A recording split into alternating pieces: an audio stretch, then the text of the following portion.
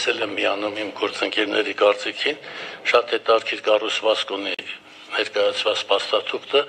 ափսոս որ տպագրված չենք ստացել օրինակ կառավարության ծրագիրը, եթե հնարավորություն կա, դա ցանկալի կլիներ, որտեղ շատ լավ է։ Եվ կարծում եմ մեր սեղանի գրքերից մեկը կարա դառնա այդ հաղորդումը։ Երկրորդը ուզում եմ շեշտել, որ պահը մեր նաև եթերում ենք մենք հիմա մեր հանրության ճնշող մեծամասնությունը մեծ սպասելիքներ ունի դեզանից եւ կարծում եմ շատ լավ է ընդունել ձեր նշանակումը բոլորը սպասելիքները շատ են եւ դա իհարկե ձեր աշխատանքները ըստիս դժվարացնել է որովհետեւ միշտ չէ որ այդ սպասելիքները ամբողջ ծավալով արդարացվում են ձեր բարագայում կարծում եմ որ դա տեղի կունենա եւ հետեւաբար իմ հարցերը մի քիչ ավելի բխում են պարոն Վարդանյանի այն դիտարկումից, որ մենք պետք է պատճառները վերհանենք, նոր հետևանքների մասին խոսենք։ Պատճառները հետևյալն են իմ կարծիքով, որ ես մի փոքր իսկ թույլ կտամ տարածվել, որ ցանկացած իշխանություն ուժեղ լինելու մղում ունի։ Դա որևէ իշխանության բնական ձգտումն է ուժեղ լինել։ Եվ ուժեղ լինում է երկու տիպի իշխանություն։ Մեկը օրինական է, հենվում է հասարակության վստահության վրա, հետևաբար փոփոխելի եւ պատասխանատու է։ Մյուսը ռեպրեսիվ ապարատի միջոցով իրեն ենթարկած ենթարկացնում է հասարակությանը իրեն վախի մտնոլորտ եւ իրեն համարում է ուժեղ։ Դժբախտաբար մեր անցյալը այս երկրորդ տիպի իշխանությունն է եղել եւ խորհրդային շրջանում եւ նախորդ շրջանում իշխանություն ուժեղ լինելու համար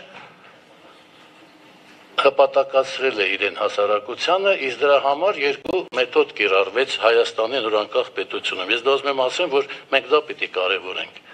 Տեղի ունեցավ իշխանության եւ գործարար աշխարհի սերտաճում, տեղի ունեցավ քրեացին աշխարհի ու իշխանության սերտաճում։ Արդյունքում քրեական բարքերը դարձան իշխանության ոչ, ճշտով էին աշխատում, ոչ թե օրենքով։ Ես չեմ կարծում, որ հիմա այդ երևույթը վերացել է։ Այդ երևույթը կարա վերարտադրվի նաև Հետևաբար իմ հարցը հետևյալն է։ Օրինակ, քրեական 99 թվականը երբ խորհրդարան էր ձևավորում Ռոբերտ Քոչարյանը, երբ որ իրեն կշտամբում են թե քրեական հեղինակություններին վերում ես խորհրդարան, նա ասում էր, եթե մարդը, եւ դա ասուլիսում էր ասում, բաց, հիմա կա տպած կա, կարելի է բարձրացնել նայել։ Ասում էր, եթե մարդը հեղինակություն, արեմ ինչ-որ մի բան արել է, ոնց կարելի է անտեսել այդ մարդու հեղինակությունը։ Ինձ իմ հարցը հետեւյալն է, այդ հեղինակությունները հայտնի են Հայաստանում։ Կան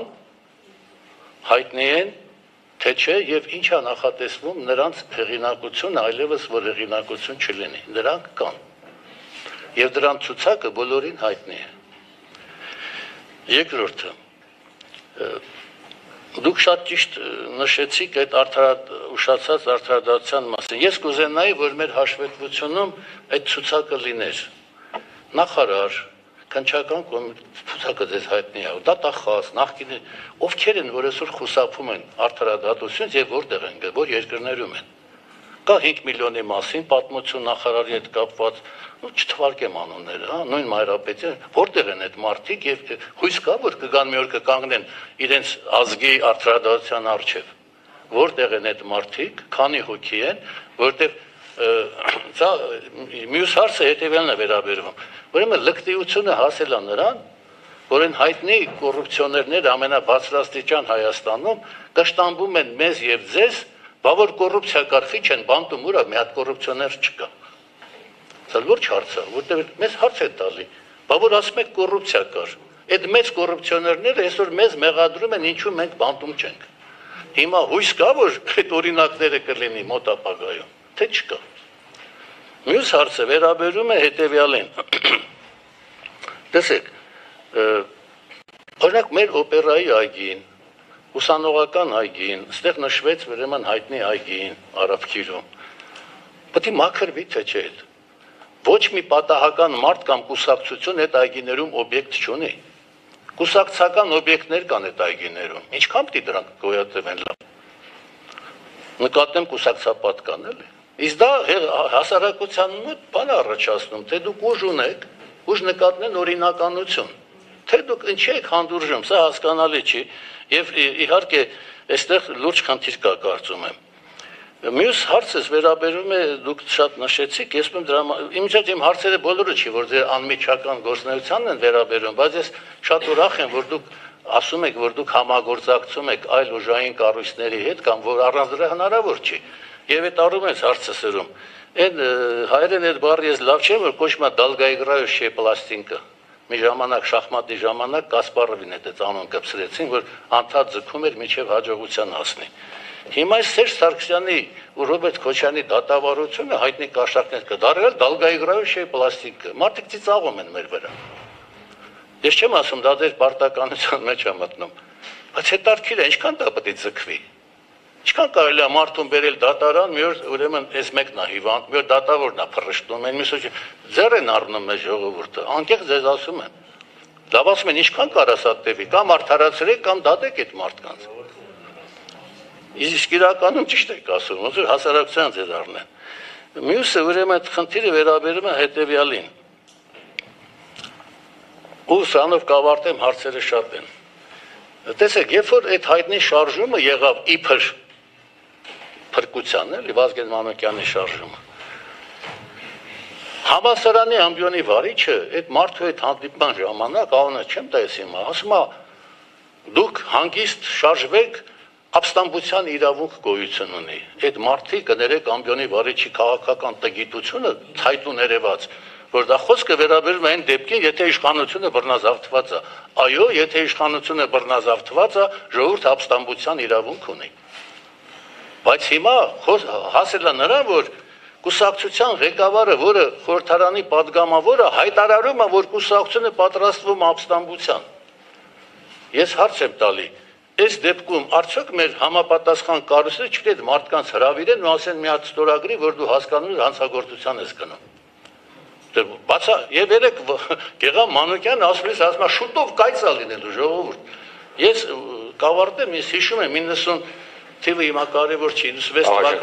թվականին։ Եթե 90 երբ 96 թվականին ազգային ժողովը գրոհեցին, ես ինձ թույլ տվեցի այն ժամանակվա լուսահոգի դատախազ գրել հարցնել. Դատախազությունը ինչ արել կանխելու համար էս հանցագործությունը որտեվ կանխարգելիչ քայլեր են պետք ըստիս Եթե մարդիկ այսօր պատրաստում են ապստամբություն, նրանց հենարան է թաղային հեղինակներն են լինելու քրեացին աշխարհը։ Մարդկանց իմ կարծիքով կանչել ասել դու գիտես ինչ ես պատրաստվում։ Դու հանցագործ ես ուզում դառնաս։ Սա կներեք, ես ձեզ ուղղակի ձեզ չի վերաբերում, բայց կարծում եմ, որ մեր երկրում կա ավարտում եմ առանձնահատկություն, ես փորձի դրա մասին խոսել, եւ մենք հանցագործներ դեմ պայքարը չենք կարող այսպես ստերիլ անցկացնենք հաշվի չառնելով մեր առանձնահատկությունները։ Եվ այդ առումով ավարտում եմ, ես կարծում եմ սա շատ լավ առիթ է, երբ որ ես զեկույց ուսումնասիրեցի եւ ձեր գործնեության վերաբերյալ շատ դրական արձագանքներ կան, ես կարծում եմ դա որպես հարց է, վերջինս, որ ըստ երևույթին անհրաժեշտություն կա բարբերաբար խմբակցության հետ հանդիպելու, որտեղ ձեր գործնեությունը իմ կարծիքով լուրջ քաղաքական աջակցության կարիք ունի եւ մենք պատրաստ ենք դա անել։ Շնորհակալություն ես ես վերջին անդրադառնամ պարոն Խաչատրյան ամենայն հարգանքով ձեր եւ ժողովրդական լեզվով ասած իրավաչափ եւ իրավացի ժողովրդական առումով հա դիրքորոշման համար, բայց այդ հանդերձ շարունակելով մնալ որպես իրավաբան եւ հանձնաժողովի նախագահ պետք է ասեմ, որ գլխավոր դատախազի հետ հանդիպման ձևաչափը շարունակելու է մնալ այս մեկ անգամ տարեկան հաղորդումը, որովհետեւ քաղաքական խմբակցությունների հետ, քաղաքական գործիչների հետ հանդիպումները այլ ձևաչափով ոչ մասնագիտական խաթարելու է եւ մեր որևիցե եղանակով, աշխատանքային հանձնաժողով սիրով, սիրով աշխատանքային քննարկում հանձնաժողովում սիրով եւ Երևանում եւ արտագնաց սիրով կազմակերպենք, բայց քննարկումները պետք է լինի մասնագիտական քննարկումները պետք է լինի ոչ քաղաքական նույնիսկ եթե իմ շահերի դեմ պետք է խոսամ, պետք է խոսամ այսպես վատ անձնավորություններ ունես իրավաբանները, մեկ-մեկ։ Շնորհակալություն։ Ուղղակի օկտոբեր Պարոն Ազան, հազարներություններ, ես ուզում եմ մի հատ հասկանամ ձեր դիրքորոշումը, էլի։ Ֆորմատը փորձում ենք նենց անել, որ բովանդակային քննարկում լինի, լավ չի սահմանափակում ենք, լավ չի։ Կարակ ասեք ոնց անենք, որ համ ձեր դուրը գա, համ քննադատության չարժանանա, ոչ նախագահ, ոչ ազաժող։ Այս կան։ Լավ, դին դին դին գլխավոր դատախազ պատասխանը քնդրեմ։ Թույլ կտակ, իրականում, պարոն Խաչատրյան, ես ձեր բարձրացրած այս խնդրի խոսույթի հետ կապված ներողություն չեմ կարող արձագանքել եւ ճիշտ ասած ոչ իրավունք ունեմ, ոչ դրա կարողությունը, ոչ ներողություն ցանկությունը, ես ունեմ շատ կարևոր մի զսպաշապիկ, դա կոչվում է քաղաքական զսպվածություն ու չեզոքություն։ Ես ամբողջ կյանքում եմ եղել զուսպ եւ չեզոք քաղաքական իմաստով։ Դա չի նշանակում, որ ես չեմ ունեցել կարծիք, դա նշանակում է, որ ես կարողացել եմ կառավարեմ եմ բոլոր հույզերը, որոնք կապված են իմ սիմպաթիաների եւ անսիմպաթիաների հետ ու շարունակելու եմ դա անել, ինչ պաշտոնում էլ որ լինեմ, դա իմ ներողություն հավատամքն է, դա իմ կերպարն է եւ նույնը ես նաեւ փորձում եի այ երեք ուղղակի առիթն օգտագործելով ասեմ, շատ հետաքրքիր հրավիրյալ դասախոս է շատ հետաքրքիր մի լսարանում առաջին կուրսում եւ ամենավերջում ուսանողներից մեկը ինձ հարց տվեց, ասեց. «Իսկ այ եթե դու դուք ո՞նց եք գնահատում, որ կան լսարան ու մեզ սկսեն քաղաքական ինչ որ բաներ ասել։ Սա դասախոսություն է թե չէ»։ Ես էլի գնահատական չտալով, բայց շատ հարցը դուրս եկավ ինչի, որովհետեւ նշանակում էր, որ մտածողություն կա եւ ոչ թե ագիտացիա, խոսքը ցանկացած քաղաքական քարոզ ուժի մասին է եւ իշխանական եւ ընդդիմադիր ցանկացած տեսակի ես իմ պատասխանը հետեւյալն էր որ 10 տարի եւ ավել ես դասավանդում եմ համալսարանում մի նպատակով որպեսի բոլոր այն ուսանողները որոնք իմ լսարանից դուրս են եկել դուրս գան մտածել սովորած պետք չի որ իրանք բարձված լինեն ինֆորմացիայով ինֆորմացիան ի տարբերություն մեր ժամանակաշրջանի իրանք հասանելի ամեն քայլափոխի գրադարան կլինի գիրք կլինի նյութ կլինի ինչ ասես այդ մենք էինք գնում հասնում մոսկվա որ դիսերտացիայի համար նյութեր գրադարանում նստեինք դուրս գրեինք հա բայց հիմա դա ամենը տաննա համակարգչի մեջ է ամենակարևորը այսօր երկու բան անելն է մեկ ով է հերոսը ամենակարևորը ով է քո իդեալը ես չեմ ուզում ինքս չեմ ուզում որպես Աննա Վարդապետյան լինել ինչ որ մեկի իդեալը բայց ես ուզում եմ որ յուրաքանչյուր իրավաբան որ այսօր նստած է առաջին կուրսի նստարանին իր իդեալը լինի գլխավոր դատախազը Աննա Վարդապետյանին կմոռանան ու անպայման մոռանալու են, բայց ուզում եմ, որ իր իդեալը լինի գլխավոր դատախազը եւ ոչ թե ինչ որ մի կասկածելի հեղինակություն ունեցող անձ։ Ես ուզում եմ, որ իր իդեալը լինի օմբուդսմենը, իր իդեալը լինի ներքին գործերի նախարարը, ազգային անվտանգության ծառայության տնօրենը, որովհետեւ սա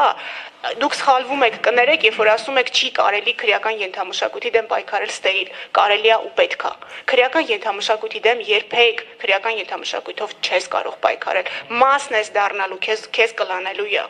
Եվ ինձ շատ հաճախ քննադատում են, ասում են, այ դու գերազանցիկի սինդրոմով ստերիլ գնում ես, ասում ճիշտ եմ անում, որովհետև ես ուժեղ եմ այդտեղ, որպես իրավաբան։ Եվ այն կառույցը, որ ես ղեկավարում եմ, իրավական կառույց է։ Մեր process-ները երկար են, մեր process-ները ձևաչափային են, մեր process-ները արարողակարգային են, այո, բայց մեր process-ները ճիշտ են։ Ինչու՞, որովհետև մարդկության լավագույն ուղեղներն են դրվել եւ զոհաբերվել այսօր այս արդարադատության ձևաչափ ունենալու համար։ Մենք դրանից հետքայլ չենք անելու։ Ինչքան էլ ներողություն ինձ քննադատեն, ինձ թիրախավորեն եւ մեզ ասեն, որ մենք դանդաղում ենք, բայց մենք մի խնդրեմ ունենք։ Իսկապես ցկցկված արդարադատությունը մեր խնդրեմն է եւ իմ տեղակալները շատ-շատ են հոգնում։ Ես ֆիզիկապես զգում եմ ոնց են հալումաշ լինում, բայց բոլորի վրա դրված այդ պարտականությունը գործերը 6 ամիս, 8 ամիս։ Եթե 8 ամիսը վառած գործ կա, ուրեմն պատասխանատվություն, ուրես դատախազ, ուրահսկողությունդ։ Այսինքն արա քո ստերիլ գործընթացը, բայց արա այն ժամկետում, որում դու պարտավոր ես անել։ Եվ ես իրավունք չունեմ սպիտակ ձեռնոցները հակած հետ փախնելով, որ վայ օրենքի այս տառը այս sense է մեկնաբանում, որ այս պարտականությունը չանեմ, ներողություն, ուրեմն դու ինձ հետ այս ճանապարհը չես կարող անցնել, եթե դու որպես իրավաբան չես ուզում ստանձնել պատասխանատվություն։ Ես չեմ կարող ոչ մի ձեր բարձրացրած հարցին պատասխանել պահպանելով իմ քաղաքական զսպվածությունը, բայց ես էի ուզում ուղակի նշել, որ ես կարծում եմ, որ իրավական ճիշտ ստերիլ ձևաչափը ամենաճիշտ ասիմետրիկ պատասխանն է ցանկացած տեսակի անարխիային։ Ու ես հույս ունեմ, որ ինձ կհաջողի օրինակով դա ապացուցել։ Շնորհակալ եմ։ Կարող եմ շմիչոզ զարգացնել տալը ես կտամ։ Այլ կերպ ասած, եթե մենք հանցագործին պատժում ենք հանցավոր ճանապարհով, ինչով ենք մենք տարբերում նրանից Չնայած վերջի շրջանում որոշ մարդիկ կորցրել են նամուսը կամ ամբողջությամբ ամպուտացվել է նամուսը, իսկ որոշ մարդիկ կորցրել են նամուսը ծայրահեղ աստիճան դրան ելույթին կանրադառնամ ելույթից։ Դա ես խոսք փոխանցեմ ձեզ արձագանքի համար։ Ես համաձայն եմ եւ ամբողջությամբ կիսում եմ Տիկին Վարդապետյան, Տիկին գլխավոր դատախազ ձեր դիրքորոշումը։ Տարօրինակ չտվա, ես էլ եմ կիսում։ Ես հատուկ հատուկ շեշտեցի, որ մենք ունենք եթեր եւ ես խոսում եմ նաեւ եթերի համար եւ կարծում եմ մեր ընտրողները պիտի տարբերակեն քաղաքական գործիչներին իրավական դաշտում գործող անձերից եւ այդ հակասությունը միշտ կլինի մեր ցանկությունները եւ իրական իրավական եւ որպես արձագանք օգտվեմ եւ ասեմ կարճ շատ կարճ Տիկին Վարդապետյան հարգելի գլխավոր դատախազ հայտնի ասուլիսում Սասուն Խաչատրյանի եւ Վանեցյանի Վանեցյանը մի լավաշ ստեն բարձրացրեց, ասեց սա Ռոբերտ Քոչարյանի ունեցվածքի ցանկն է, եւ եթե Ռոբերտ Քոչարյանը մի օր իշխանություն ունենա, ինձ կգնդակահարի այս բացահայտման համար։ Հիմա այդ ցանկը սուտ էր, թե ճիշտ էր։ Եթե այդ ցանկը ճիշտ էր, դրան անդրադարձ լինելու է, թե չէ կապված իտալական ուրեմն այդ հյուրա շենքի բնակարանների 5 միլիոն դոլար կաշառքի մասին էին այսինքն մարդը վերակացել հրաապարակել է Ինձ որպես քաղաքական գործիչ ես անկեղծ հարց են տա, լուրջ եմ ասում։ Շրջապատը այդպեսին է։ Ասում եմ լավ, այդ սուտ էր թե ճիշտ էր։ Եթե սուտ էր, ով է պատասխան տալու։ Եթե ճիշտ էր, ինչի ընթացք չուներ։ Ես սա արդեն լուրջ հարց է եւ այսպիսի հարցեր շատ կան։ Շնորհակալություն։ Խնդրեմ։ Ինչքան էլ ինձ սադրեք, Ես գործի նյութեր չեմ բացահայտելու, անմեղության կախավարկածը պահելու եմ, ում վերաբերյալ ուզում է դա լինի, որովհետև ես անձնական սիմպաթիաներ ու անսիմպաթիաներ չունեմ։ Ես մի հավատամք ունեմ։ Դա օրինականությունն է եւ այդ օրինականության միջոցով ծառայելու են առաքելությանը, որը պետք է իրականացնի իրավաբանը։ Մեզ բազմաթիվ հարցումներ են ուղղում ապօրինի ցակում ունեցող գույքի